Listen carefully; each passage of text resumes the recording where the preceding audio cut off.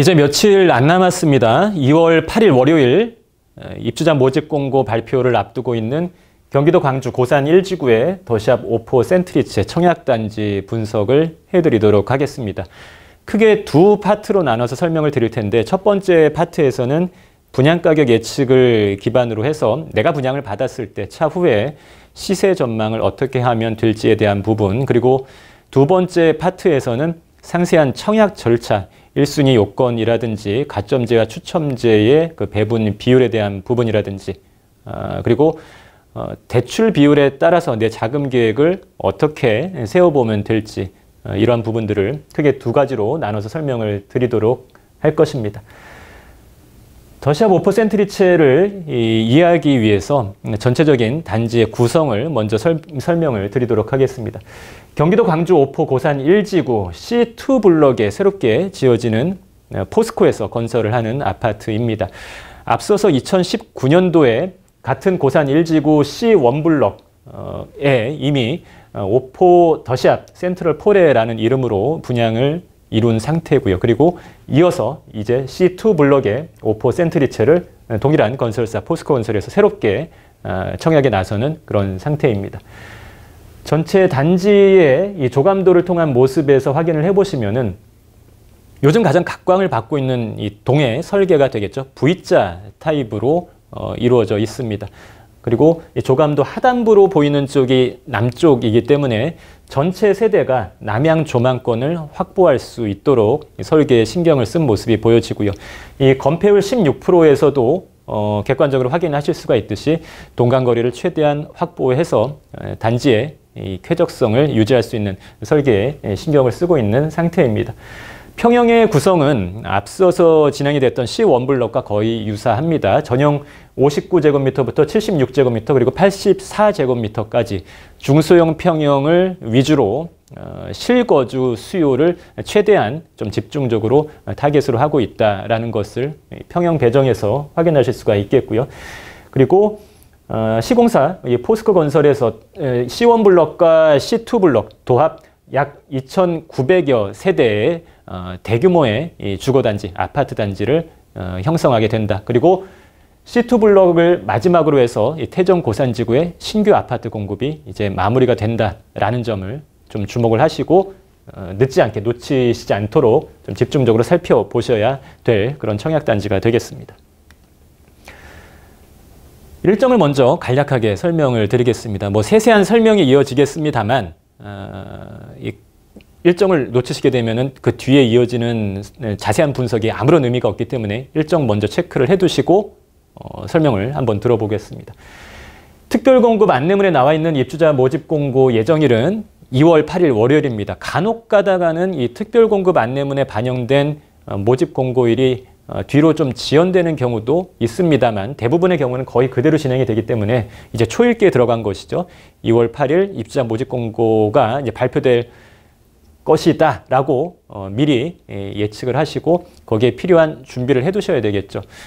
어, 예치금 요건 맞추셔야 될 것입니다. 1순위 자격을 어, 유지하면서 1순위에 지원을 하시기 위해서는 서울 거주자의 경우에는 85제곱미터 이하 300만 원, 그리고 경기도 거주자는 200만 원이죠. 예치금 체, 체크를 해보셔야 될 것이고 또 세대 분리가 필요하신 분이라면은 어, 세대주 변경이 되어 있는지 반드시 미리미리 확인을 해 보셔야 되겠습니다.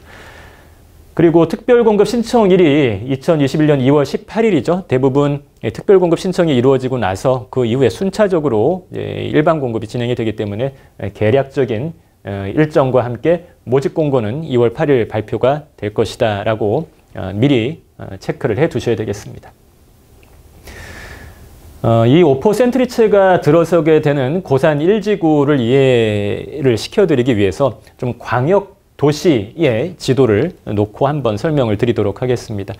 아, 지도 상단에 보이는 쪽이 이 강남 잠실에서 이어져서 분당 판교로 어, 내려오고 있는 그런 모습이 되겠습니다. 강남에서부터 시작해서 어, 분당 판교까지 어떻게 보면 이 광역 서울 수도권의 이 광역 도시 개발의 역사상 가장 성공적인 도시 개발을 이룬 어, 이루어낸 그런 중심 어, 주거 벨트 중에 하나다라고 판단을 할 수가 있겠습니다. 어, 그리고 판교 테크노밸리를 통해서 단순한 강남 수요의 이전에 그치는 것이 아니고 자급자족이 가능한 어떻게 보면 강남 그 이상의 이 업무 시설을 대거 집중시킴으로 인해서 그 자체적인 수요까지 계속해서 늘어나고 있는 그런 상태인 것이죠. 어, 도로로 기준으로 봤을 때는 경부선을 중심으로 해서 그리고 지하철 라인을 중심으로 봤을 때는 신분당선을 어, 기준으로 해서 그 라인이 계속해서 어, 확대되고 또 발달이 되고 있는 중심 주거지가 되겠습니다. 그러다 보니 부동산 시장에서 결과적으로 나타나는 것은 가격의 상승이 될 수밖에 없는 것이죠. 어, 지난 5년간 뭐 서울 수도권 전체적으로 봤을 때 가장 높은 상승세를 보이고 있는 것이 바로 어, 강남과 이 성남시다라는 것은 뭐 상식적으로 이해를 하고 계실 것입니다. 그런 상황이 벌어질 때 어쩔 수 없이 필연적으로 이 수반되는 도시개발의 하나의 과정이 대체 주거지를 찾아 나서게 되는 것이죠. 어, 경기도 광주가 그 타겟으로서 각광을 받고 또 시세 또한 어, 거기에 필적할 정도로 어, 눈에 띄게 예, 상승을 하고 있는 그런 상태입니다. 과거의 경기도 광주는 이 성남 판교 건역까지 지도상의 거리는 굉장히 가깝습니다만 이렇다 할 지하철 라인이 연결되지 않았었고 또 신축 아파트 공급이 없었기 때문에 별로 관심을 갖고 들여다보지 않았던 지역이었죠. 하지만 이제는 경강선을 통해서 분당 판교까지 굉장히 빠르게 이동을 하실 수가 있겠고 또 태전 고산지구를 중심으로 한 새 아파트까지 공급이 되면서 과거와 다른 양상으로 관심이 몰리고 또 실제 가격까지 이어지고 있는 그런 상태입니다. 태종 고산지구 전체로 봤을 때는 약 120만 제곱미터의 14,000여 세대를 어, 모두 어, 흡수하게 되는 그런 대규모의 어, 미니 신도시급으로 개발이 되고 있는 상태고 이번에 새롭게 분양을 이루게 되는 더샵 오포 센트리체가 이 지역에 마지막으로 공급되는 신축 아파트 단지다라는 부분 꼭 체크를 해두실 필요가 있겠죠. 어, 고산 일지구 택지개발 사업 이 지구 단위 계획의 이 지형 도면의 모습이 되겠습니다. 이 노란색으로 표시가 되고 있는 곳 상단이 C1 블럭이고요. 그리고 하단이 C2 블럭. 각각의 C1과 C2 블럭 모두를 포스코 건설에서 어, 시행자로서 공동주택 건설 사업을 진행을 해오고 있는 그런 상태입니다. 공동주택 건설 사업을 진행하게 됐을 때 뭐 이 지구 단위 계획 지형 도면에서도 확인하실 수가 있듯이 단순히 아파트만 높게 짓는 것이 아니죠. 아, 그에 수반되는 기반시설들, 초등학교와 고등학교를 만들게 되고 도서관과 도로와 공원과 그리고 각종 근린생활시설, 전체적인 이 일대의 주거 기능이 뭐 한 단계 더 도약을 하게 되는 그런 계기다라고 생각을 하시게 하시면 되겠습니다. 특히 초등학교 같은 경우 이 아파트 단지의 이 중심 수요층이 젊은 신혼부부, 아이가 좀 어린 젊은 신혼부부일 가능성이 높기 때문에 초등학교를 좀 유념해서 보셔야 될 텐데 어, 현재 이제 공사를 하고 있는 것이죠.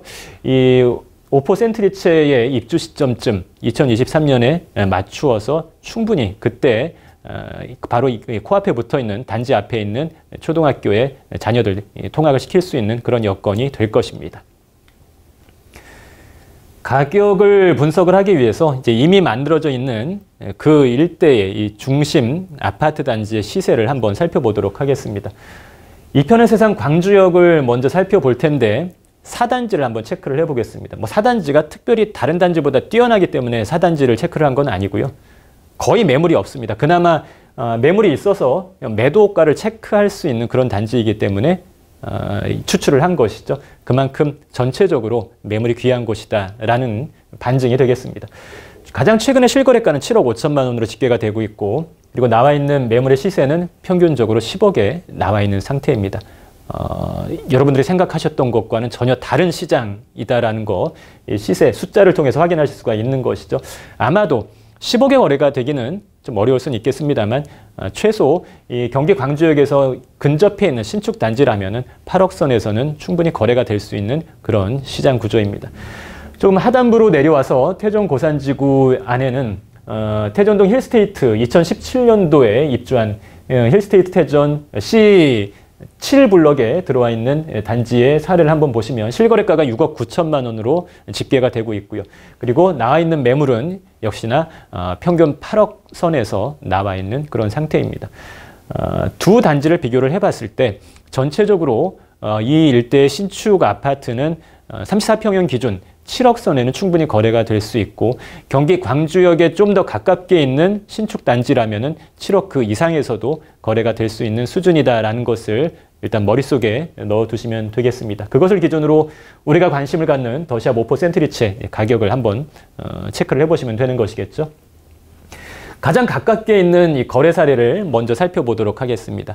뭐 다른 곳에서 찾을 필요가 없이 예, 지리상으로도 가깝게 있고 동일한 건설사에서 그리고 유사한 규모로 어, 분양을 조금 한 발 앞서서 진행한 단지였기 때문에 이 단지를 한번 어, 꼭 체크를 해두시면 되겠습니다. 바로 오포터샵 센트럴 포레와 같은 경우에 어, 분양권 거래의 실거래가 내역을 살펴보시면 5억 798만 원으로 집계가 되고 있는 그런 상태입니다. 하지만 매물은 역시나 나와 있는 매물은 8억 이상으로 나와 있는 그런 상태인 것이죠.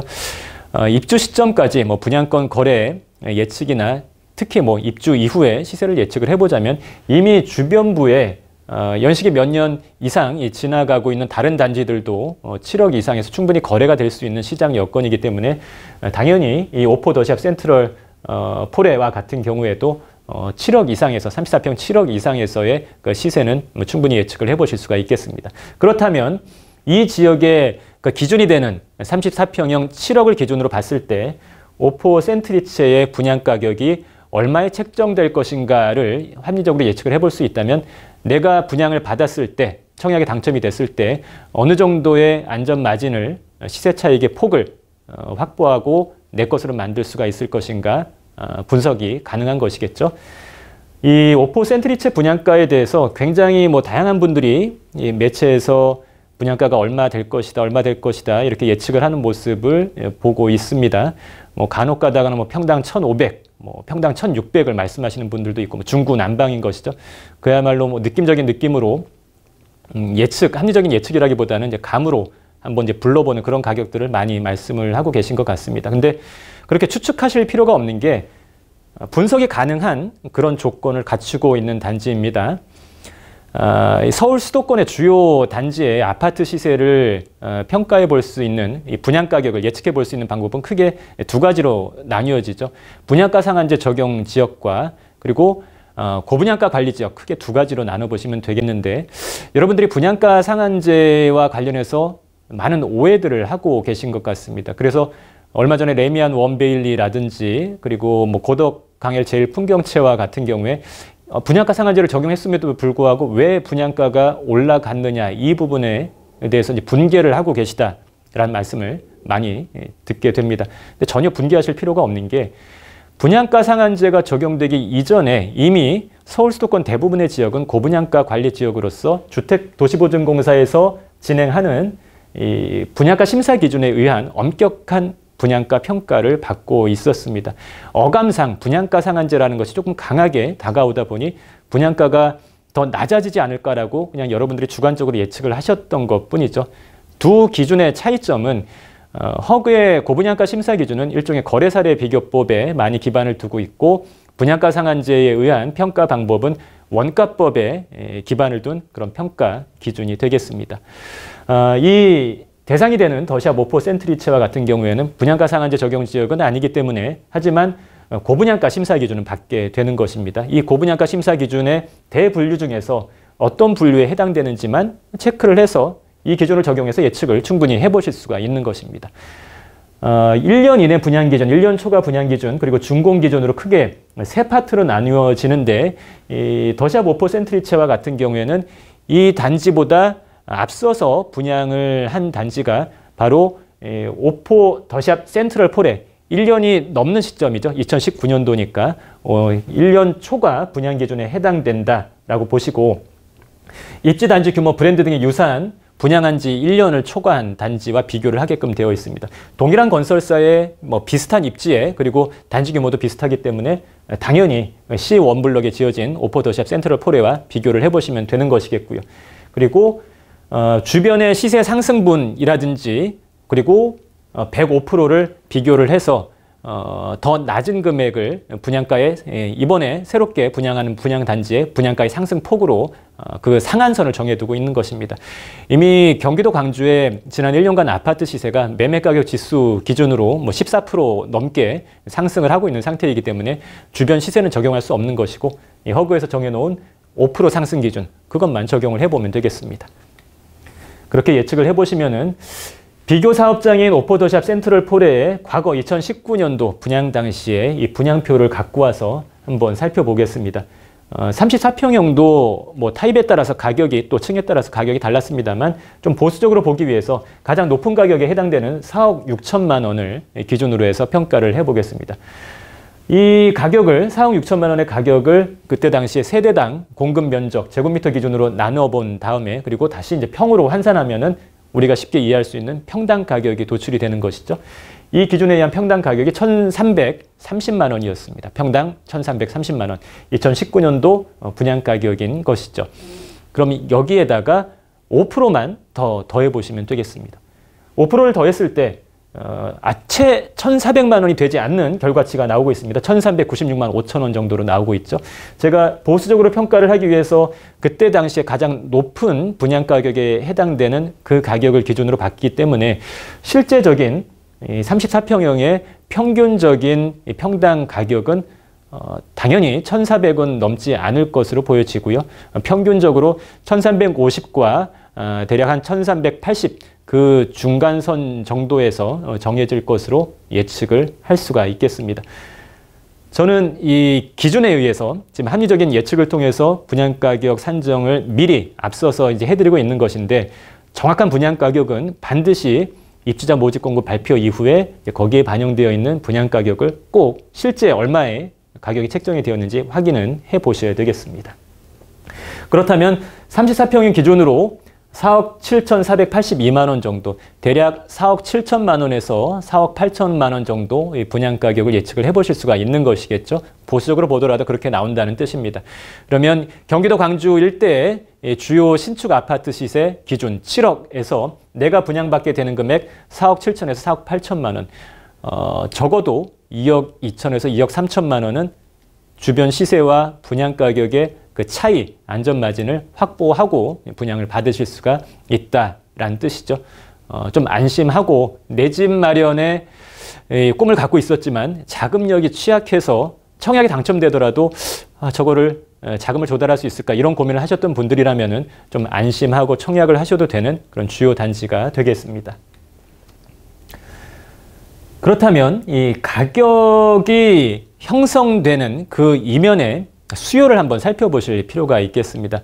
지금 만들어져 있는 34평 어, 기준 주변 시세 7억 혹은 뭐 그 이상의 가격이 과연 합리적인 가격인지 아니면 뭐 서울의 부동산 시세가 상승하니까 그냥 풍선 효과에 의해서 일시적으로 어, 가격에 거품이 생겨서 만들어진 가격인지 예, 숫자인지 어, 그 수요 측면에서 검증을 한번 해보시면 되겠죠. 가장 기반이 되는 수요 측면의 변동 요인은 역시나 인구의 이동이 될 것입니다.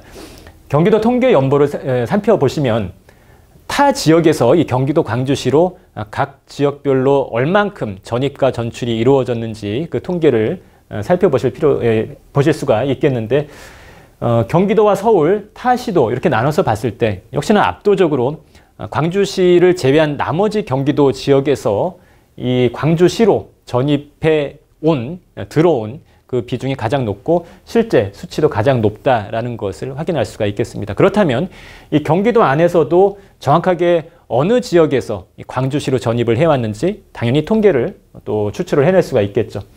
어, 그런 관점에서 봤을 때 경기도 안에서도 1위가 성남시 그리고 2위는 하남시인데 4만 어, 8천과 그리고 4천 정도로 거의 뭐 10배 이상 차이가 날 정도로 성남시에서 광주시로 예, 전입해 온 인구의 비중이 압도적으로 많다라는 것을 확인하실 수가 있겠습니다. 제가 앞에서 어, 강남에서 이어지는 성남과 그리고 판교의 경부선을 중심으로 한 어, 주거단지의 개발의 과정에서 대체 수요에 의해서 광주로의 이동이 일어난다, 일어나고 있다라고 추상적으로 말씀을 드렸던 그 부분이 바로 이 숫자에서 정확하게 예, 검증이 되고 있는 상황인 것입니다. 이러한 수요, 가장 기본이 되는 인구의 전입에 의한 수요에 의해서 만들어지고 있는 가격이기 때문에 저것이 거품이 아닐까라는 어, 불안감을 내려놓으셔도 된다라는 뜻이 되겠죠. 이렇게 인구의 이동이, 인구의 유입이 많아지고 있기 때문에 당연히 광주시 입장에서는 그 인구의 증가에 대비해서 효율적인 도시 관리를 위한 계획을 미리 세워둘 수밖에 없을 것입니다. 그것이 바로 경기도 광주시의 도시 기본 계획에 미리 반영이 되어 있습니다. 각 연도별로 경기도 광주시의 각 생활권별 인구의 배분 그리고 각 지역별 인구의 밀도의 관리의 수준에 대해서 미리 계획을 세워놓고 이 계획에 따라서 어, 차질 없이 진행을 하고 있는 상태인 것이죠. 크게 경안과 오포, 곤지암, 퇴촌 생활권으로 나눠볼 수 있겠고 그 중에서도 이 오포 생활권의 계획 인구와 그리고 그 지역 안에 1헥타르당 인구수를 중심으로 한 순밀도, 인구 밀도가 되겠죠. 인구 밀도의 수치를 보시면 여타의 생활권보다도 압도적으로 이 오포 생활권의 경기도 광주시에서 계획하고 있는 인구 밀도가 높다라는 것을 확인하실 수가 있겠습니다. 그만큼 광주시 안에서도 계속 증가하는 인구를 수용하기 위한 중심 주거지로서 이 오포 생활권을 생각하고 있고 그 계획하에 움직이고 있다라는 것이죠. 그리고 이 오포 센트리체가 이름에서 확인하실 수가 있듯이 바로 이 오포 생활권 안에 예, 지어지는 것입니다. 제가 늘 말씀을 드리죠. 여러분들이 부동산 시장에 대해서 그리고 관심을 갖고 있는 어떤 특정 지역에 대해서 궁금해 하고 계신 대부분의 질문은 그 해답은 바로 이 각 지역의 도시 기본 계획에 답이 다 나와 있습니다. 여러분들이 잘 모르시고 귀찮아 혹은 뭐 귀찮아서 찾아보시지 않았을 뿐인 것입니다. 그러면 다시 한번 재검증을 해보겠습니다. 이 인구 측면의 수요의 변동에 의해서 일어난 경기도 광주시의 가격 상승, 어, 이 부동산 시세를 놓고 다시 한번 평가를 해보는 것이죠. 이중 삼중의 검증의 과정을 거치는 것입니다. 서울과 성남, 경기도의 아파트 평균 매매가, 어, 평당 평균 매매가의 이 변동폭을 한번 살펴보도록 하겠습니다. 성남과 경기도를 놓고 비교를 해보셨을 때 성남은 여타의 경기도와 비교 자체가 불가능한 지역이다라는 것을 아실 수가 있겠죠. 어, 서울과 바로 비교를 해보셔야 되는 지역입니다. 서울의 웬만한 곳보다도 가격 수준 자체가 높고 상승세도 가파르게 일어났기 때문인 것이죠. 2021년 1월에 서울의 3.3제곱미터당 평균 매매가가 4,111만 원으로 집계가 되고 있고 그리고 성남의 경우에는 3,697만 원으로 집계가 되고 있습니다. 이것을 34평형으로 어, 환산을 해보았을 때 성남의 평균적인 아파트 매매 가격 34평형은 12억 5천만 원을 넘기고 있는 그런 상황입니다. 매매 가격을 보셨으니까 이제 전세 가격도 살펴보셔야 되겠죠. 오히려 매매 가격보다도 전세 가격이 더 중요한 가격의 기준이라고 말씀을 드려왔습니다. 주목해서 보셔야 될 부분은 어, 서울과 성남이 있습니다. 서울의 2021년 1월에 3.3제곱미터당 어, 평균 전세 가격과 성남의 2021년 1월에 3.3제곱미터당 평균 전세가를 숫자를 한번 비교를 해보시면 되겠습니다. 성남이 높죠. 다시 보시, 보시, 보시더라도 성남이 높습니다. 당연히 그래도 서울이 더 높지 않을까라고 생각을 하셨겠습니다만 성남이 더 높습니다. 물론 어, 서울의 뭐 강남과 같은 지역과 바로 비교를 한다면 강남이 더 높겠습니다만 성남시는 이미 서울의 평균적인 전세 가격을 넘어서고 있는 서울 그 이상의 전세 가격 강세를 보이고 있는 지역이다라는 것이죠. 제가 전세 가격에 포커스를 맞춰서 늘 설명을 드리는 이유는 전세 가격이 이렇게 높아지다 보면 반드시 수반되는 하나의 현상이 있습니다. 매매 전환 수요라고 하죠.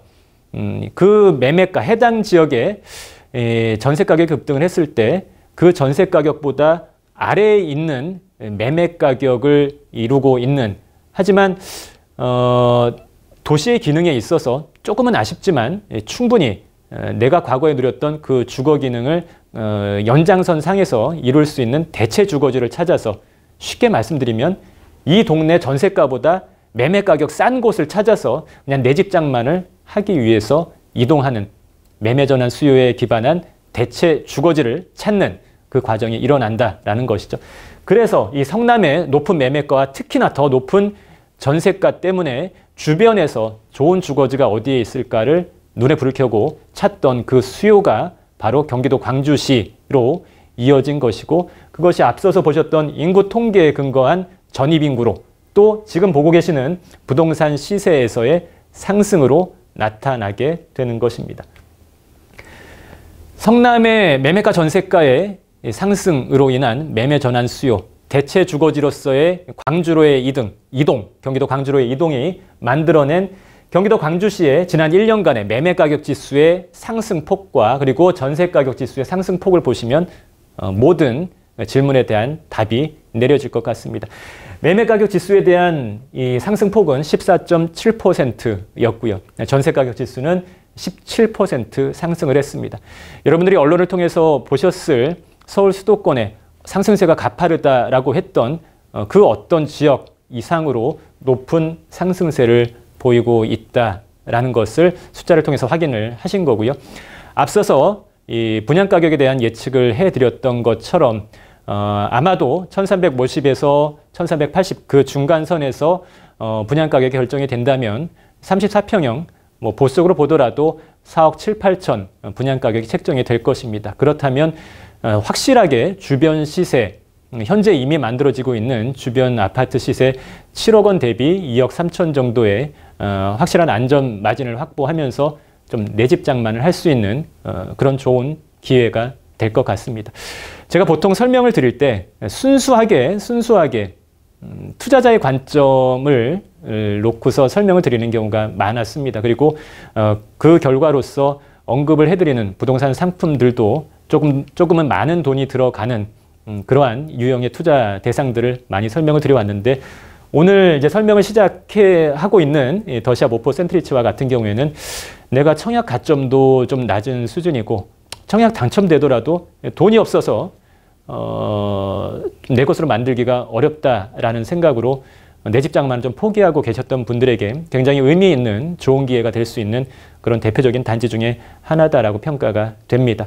아, 그것을 가격에 대한 기준을 먼저 다시 한번 되새기면서 어, 체크를 해 두시고 다음 이어지는 두 번째 파트에서는 상세한 청약 절차에 대해서 여러분들이 법규를 제대로 몰라서 좀 혼동하시는 부분들, 흔히 실수하시는 부분을 체크를 해드리면서 추가 설명을 이어나가도록 하겠습니다.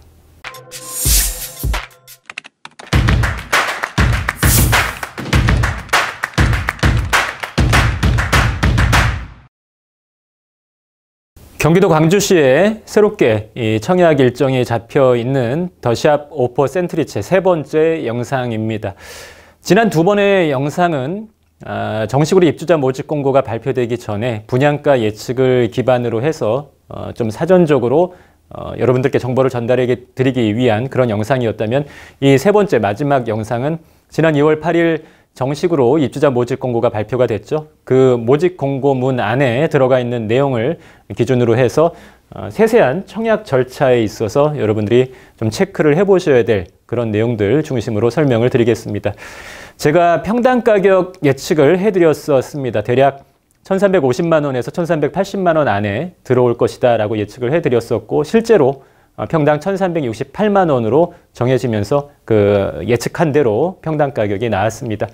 그 가격에 기초한 내 자금 계획, 뭐 어느 정도 수준의 자금을 준비해야 될지 그 내용도 어, 뒷부분에 설명을 드리도록 하겠습니다. 공급 유형별 청약 일정을 다시 한번 체크를 해보겠습니다. 5% 리체와 같은 경우에는 전 세대가 85제곱미터 어, 아래의 중소형만 공급을 하고 있기 때문에 특별 공급 물량이 거의 한 절반 정도 가깝게 잡혀 있습니다. 특별 공급도 내 요건이 부합하시는 분들이라면 절대 놓치시지 마셔야 되겠죠. 2월 18일 목요일에 잡혀 있습니다.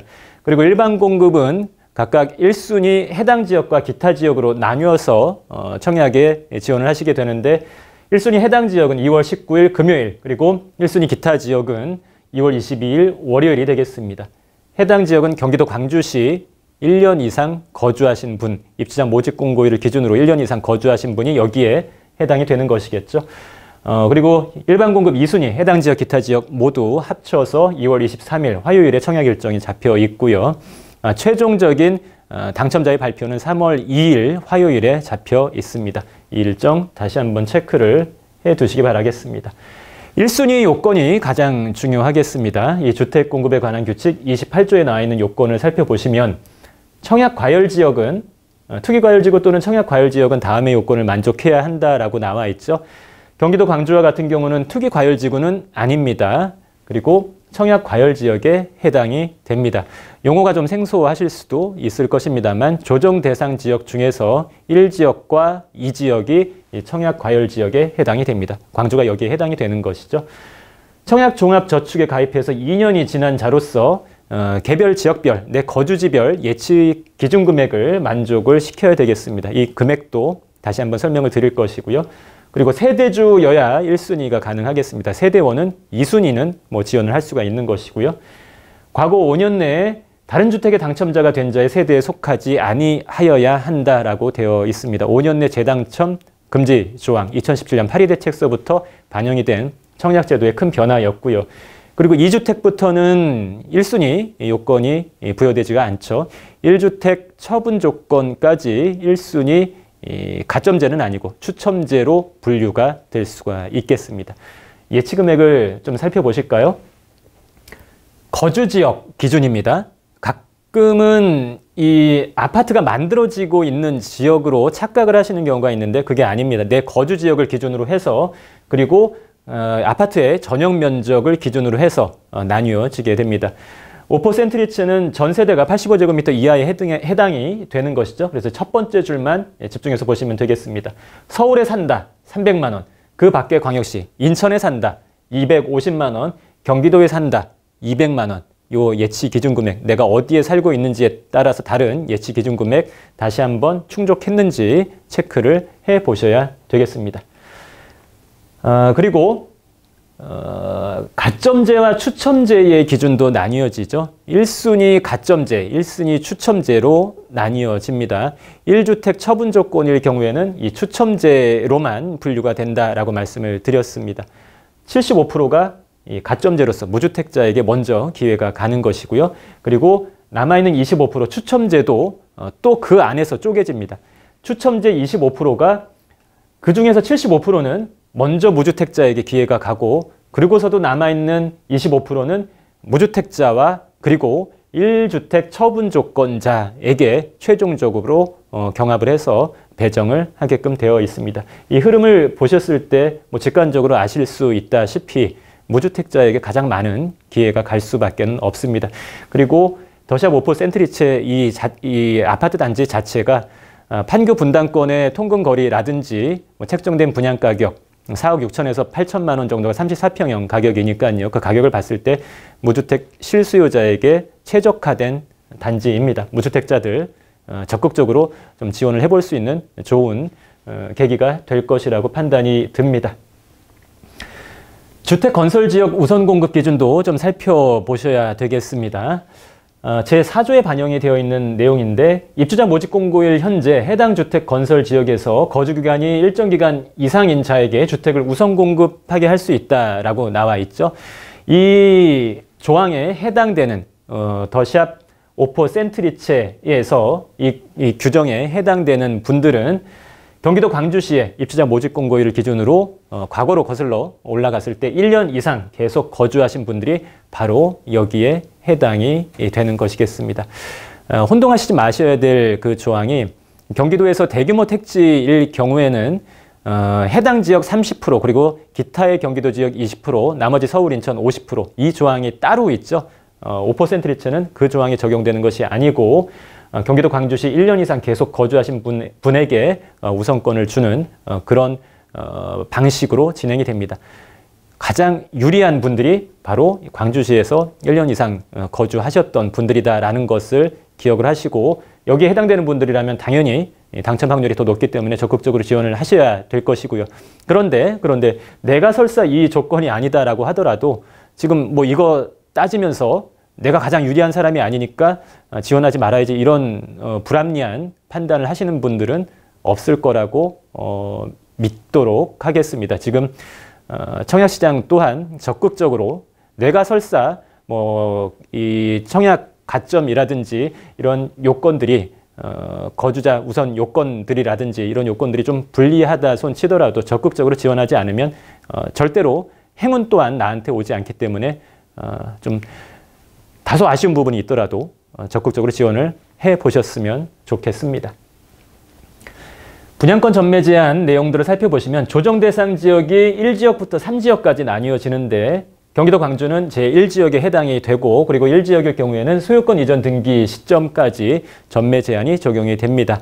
어차피 오포 센트리체 같은 경우는 무주택 실수요자를 위해서 최적화된 단지입니다. 뭐 이러한 제한 조건에 구애를 받으실 필요는 없다라고 어, 보여집니다. 어, LTV 50%가 적용이 되죠. 투기과열지구는 아니기 때문에 조정 대상 지역이기만 하기 때문에 LTV 50%를 기준으로 합니다. 따라서 어, 4억 8천만 원 분양가를 한번 어, 샘플로 잡아보겠습니다. 계산의 편의를 위해서 뭐 뒤에 단수 다 떼고 4억 8천만 원이다라고 34평형 어, 가정을 했을 때 계약금 10% 4,800만 원이 필요하겠고요. 중도금 5회차, 그러니까 LTV 50%죠. 이 부분만큼은 대출을 받으실 수가 있겠습니다. 그리고 어, 남아있는 마지막 6회차는 뭐 잔압을 하셔야 되겠죠. 근데 이것은 제가 하나의 가정을 해본 것이고 실제 중도금 대출 계약 그 조건에 따라서 언제 몇 회차에 잔압을 할 것인지는 달라질 수가 있기 때문에 이것은 하나의 예시로서 어, 생각을 해주시면 되겠습니다. 잔금은 30% 1억 4,400만 원을 준비를 하시면 되는 것이죠. 근데 내가 입주 시점에 어, 주택담보대출로 전환해서 어, 내 집 장만을 한다라고 가정을 하게 된다면 최종적으로 어, 소요되는 내 자기 자금은 1억 3천만 원 정도로 어, 예상을 해보시면 되겠습니다. 예상되는 감정가액, 입주 시점에 예상되는 감정가액은 약 7억 원 정도를 잡아볼 수가 있겠습니다. 지금 이 시점에도 이미 어, 태전지구, 고산지구에 어, 신축 아파트 34평형이 약 7억 이상에 충분히 거래가 되고 있기 때문에 그 가격 7억 원을 기준으로 했을 때 LTV 50%를 적용한다면 3억 어, 5천만 원 정도의 대출을 받으실 수가 있는 것이겠죠. 거기에 부족한 부분 내 자기 자금으로 충당한다면 1억 3천만 원 정도의 자기 자금으로 충당을 한다면 충분히 내 집 장만을 할 수가 있는 어, 그런 계기가 되겠습니다. 내 자금력이 취약하신 분들 내가 청약에 당첨된다 손 치더라도 자금이 부족해서 어, 아파트를 에, 내 것으로 만들기가 어렵다라고 좀 실망하고 계셨던 분들에게 굉장히 좋은 기회가 될 것입니다. 취득세나 뭐 기타 부대 비용까지 감안을 한다면 이거보다는 더 많이 들 수가 있겠죠. 그래서 이 금액을 최저선으로 생각을 하시고 이거보다 조금 더 준비한다 어, 이런 마음을 갖고 어, 작은 계획을 한번 어, 세워 보실 수가 있겠습니다. 그리고 어, 청약 가점을 예상을 해 보신다면 어, 가장 가까운 곳에서 진행됐던 청약단지의 사례를 한번 살펴보시면 되겠죠. 2019년 8월에 고산 1지구 C1블럭 바로 이웃에 있는 에, C1블럭 그러니까 역시 포스코에서 진행을 했던 단지죠. 오포 더샵 센트럴 포레의 청약 결과를 한번 보시면 각 타입별 최저 가점을 한번 살펴보신다면 평균을 냈을 때 대략 한 40, 3점 정도로 집계가 되고 있습니다. 근데 2019년도 8월의 결과이기 때문에 지금과는 좀 괴리감이 있을 수도 있겠습니다. 아, 2021년 1월에 청약을 진행하고 실제 이 청약 경쟁률 최종 결과까지 다 나온 단지들의 청약 가점, 최저점, 타입별 최저점의 평균을 내보면 대략 한 54점 정도로 집계가 되고 있습니다. 그렇다면 43점에서 54점 그 중간 정도의 내 가점이 들어오면 뭐 최저점은 넘길 수 있겠구나라고 뭐 예측을 해보실 수는 있을 것입니다. 하지만 하지만 하나의 예측일 뿐이고요. 내가 설사 그 기준 점수에 모다, 에, 모자란다 에, 하더라도 어, 실망하시고 청약에 지원을 하지 않는다거나 그런 어, 역시나 불합리한 결정을 하시지는 않으시기를 바라겠습니다.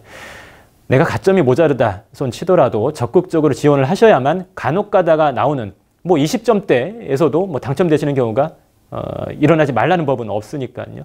적극적으로 지원은 해 보셔야 될 것입니다.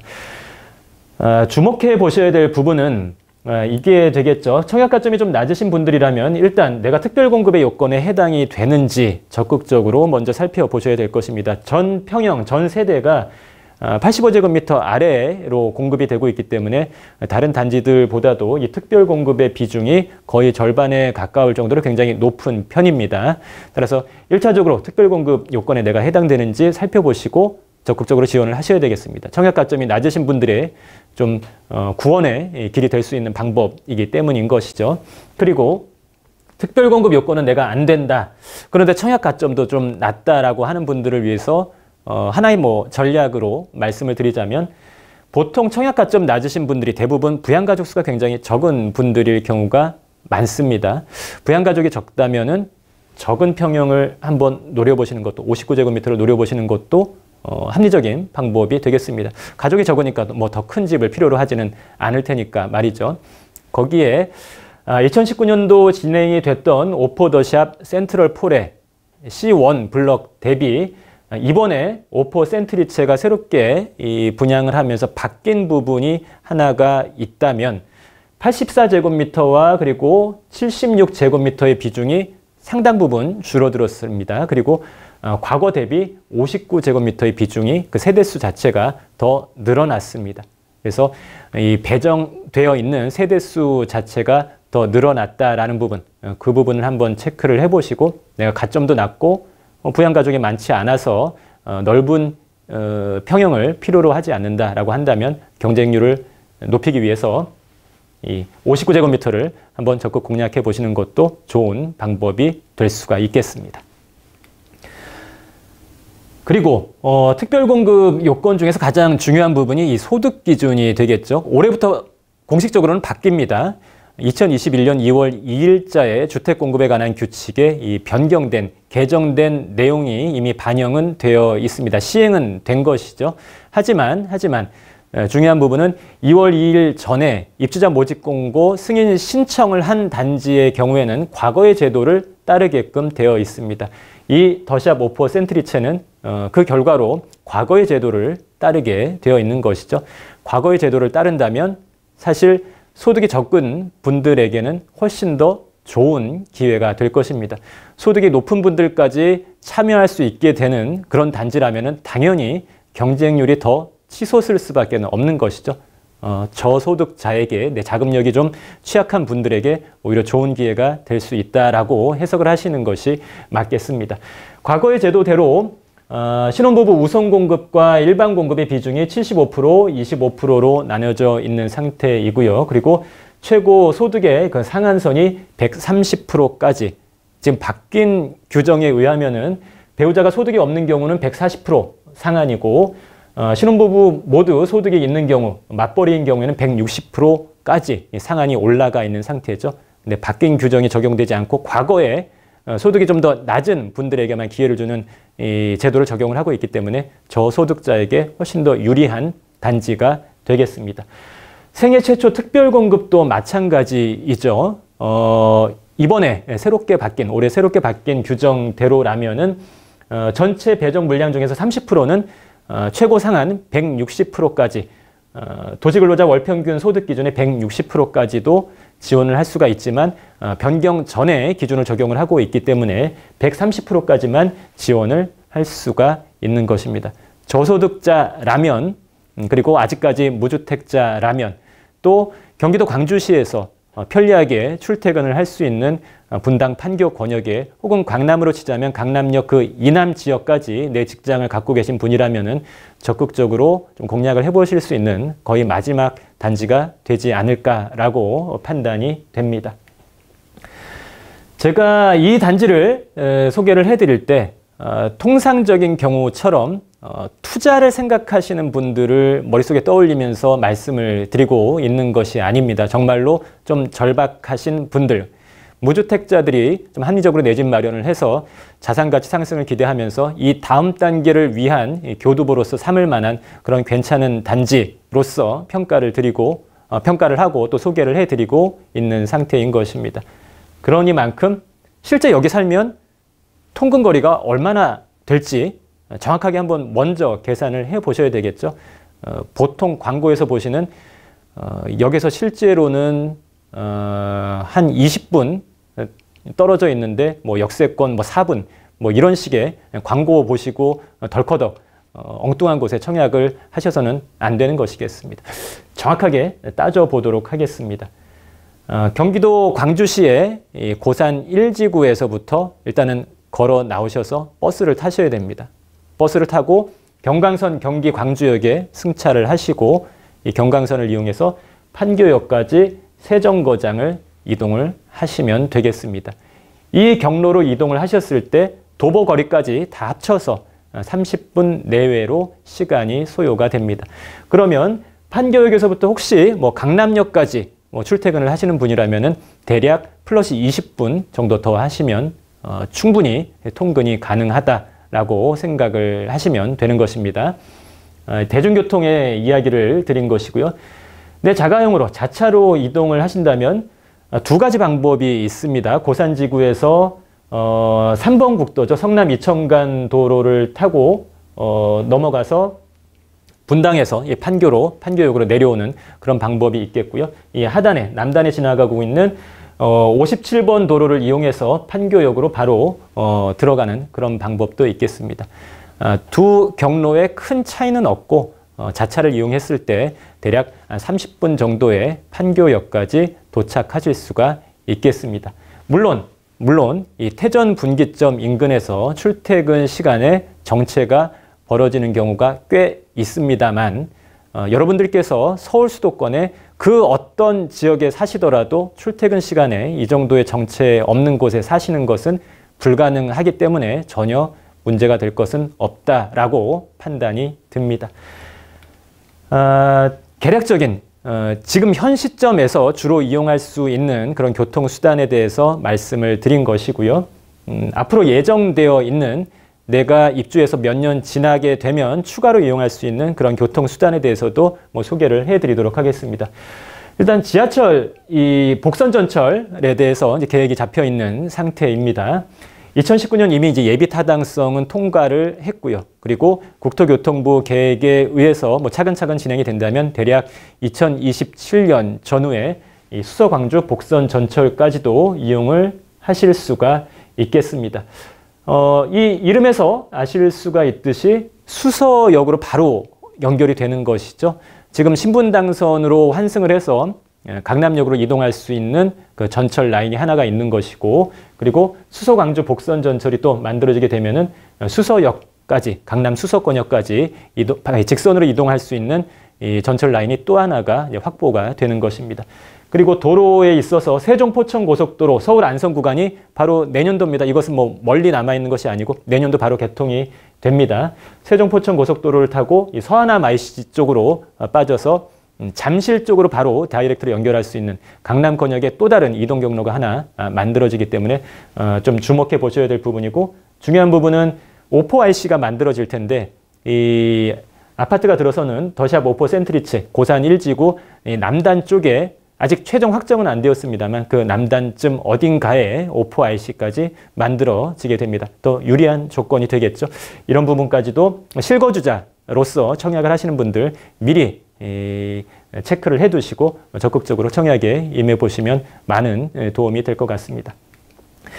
총 세편의 영상에 걸쳐서 어, 가격 분석부터 시작해서 상세한 청약 절차까지 최대한 어, 여러분들께 도움이 될 수 있는 내용을 중심으로 어, 전달을 해드리려고 노력을 했습니다. 앞으로도 이 더샵 오포 센트리체뿐만 아니라 어, 현재까지 무주택으로 남아 계시는 분들이 좀 합리적으로 청약을 통해서 내 집 장만을 할 수 있는 그런 수단으로서 좀 유망한 청약단지를 발굴을 해서 꾸준하게 소개를 해드리도록 하겠습니다. 미리미리 체크를 해두시고 저희 도시화경제에서 준비하는 이 영상을 통해서 청약에 대해서 어, 사전적인 공부도 많이 하시고 또 그 중에서 나한테 맞는 단지가 어디일까 어, 좀잘 골라서 어, 속히 내 집 장만을 하시고 내 자산 증식을 할 수 있는 가장 첫 번째 토대가 되는 것이 내 집 장만입니다. 뭐 거기에 대해서 부인할 분은 아무도 계시지 않을 거라고 생각을 하기 때문에 그 첫 단추부터 잘 꿰실 수 있도록 어, 저희가 할 수 있는 최선을 다해서 도와드리도록 하겠습니다.